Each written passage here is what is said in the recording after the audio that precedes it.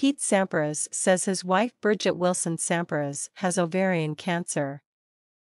In a statement made public via the ATP Tour over the weekend, the 52 year old retired tennis player disclosed Bridgette's illness.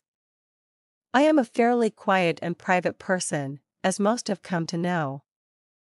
But the last year has been really difficult for my family, so I have chosen to talk about what's been going on, he said in the opening of the statement, which was uploaded to X, formerly Twitter. My spouse, Bridgette, received an ovarian cancer diagnosis last December, he went on. Since then, she has had major surgery, pushed through chemotherapy, and continues with targeted maintenance therapy.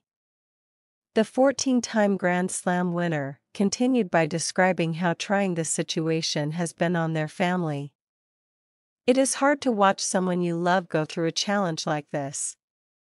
However, seeing our boys step up and be such strong supporters of Bridgette, myself, and each other has been amazing, he said, referring to sons Christian, 20, and Ryan, 18. He also praised his wife of 23 years for her strength and resilience amid all that she is facing with her health. Watching Bridgette continue to be an incredible mom and wife through it all has been inspiring, he said. Sampras concluded his statement by requesting support and prayers as Bridgette, 50, recovers.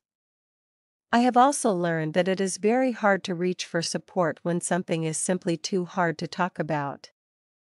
With that said, I am humbling asking for good thoughts and prayers for our family as Bridgette continues to thrive on her healing journey.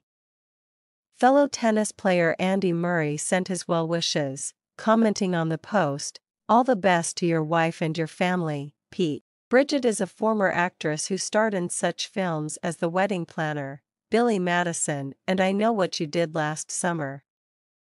Her acting credits also include roles in the TV shows Frasier, Saved by the Bell and CSI, Miami. She was crowned Miss Teen USA in 1990. Sampras, on the other hand, is thought to be among the all-time greats in tennis.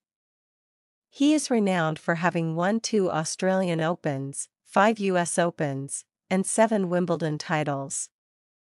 During the height of his career, he was known as Pistol Pete due to his strong serve. At the 2007 International Tennis Hall of Fame induction ceremony, he was accompanied by Bridgette and his two sons. The couple wed in 2000 after nine months of dating.